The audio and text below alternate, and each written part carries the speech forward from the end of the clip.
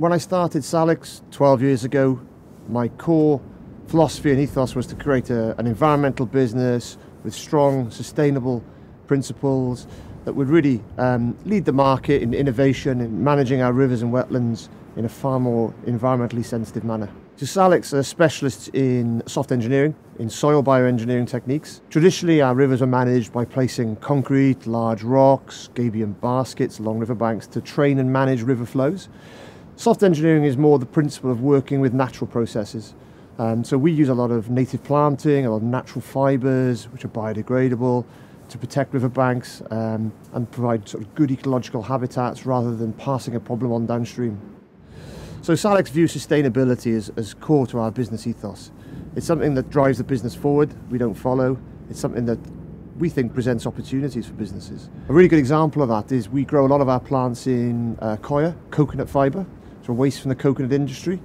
And we don't just buy through a, anonymous third party suppliers. We actually go out into the villages of Sri Lanka, uh, we meet the people, ensure they're getting a fair price for their product, ensuring that the local ecosystems aren't being damaged by the plantations, that the, the coconuts have been organically produced. Um, that way, then we can sort of hand on heart, and I can hand on heart truly say um, that we're really working in a sustainable development principle. As an example of our commitment really to innovation and, and driving forward best practice, um, we've got a product called a rock roll, which is effectively some uh, rocks in a net. It's used as a revetment along riverbanks and allows soft engineering solutions to be built off that. So we're doing research with Swansea University looking at how we can modify that product so that it'll actually benefit local invertebrates in rivers and streams and allow vegetation to grow. So effectively it becomes part of the soft engineering solution. We worked on a, a really interesting scheme uh, on the River Rhiw, a tributary of the River Severn in Welshpool.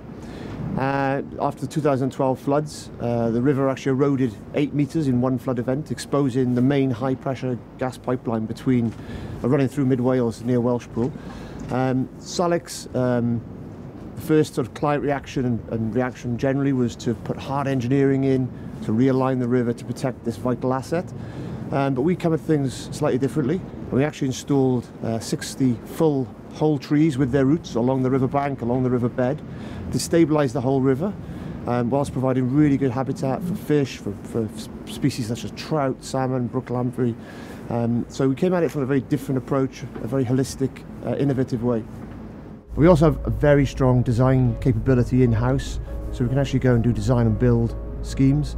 And in support of those services, um, we effectively have internally the UK's largest native wetland wildflower plant production nursery.